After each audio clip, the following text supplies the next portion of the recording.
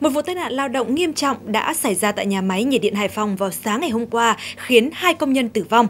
Nạn nhân là chị Ngô Thị Lan, 38 tuổi và Cao Thị Thảo, 30 tuổi, trú tại xã Tam Hưng, huyện Thủy Nguyên, Hải Phòng, là công nhân công ty cổ phần Hoàng Vĩ. Theo những người chứng kiến, hai công nhân này gặp nạn khi đang dọn vệ sinh lò xì. Đống xỉ lớn từ trên cao bất ngờ đổ ập khiến họ bị bỏng nặng và ngạt khí. Ngay sau khi sự việc xảy ra, nhà thầu và công ty cổ phần Hoàng Vĩ đưa hai nạn nhân đi cấp cứu tại bệnh viện huyện Thủy Nguyên. Tuy nhiên, do độ bỏng quá lớn nên hai nạn nhân đã tử vong tại bệnh viện.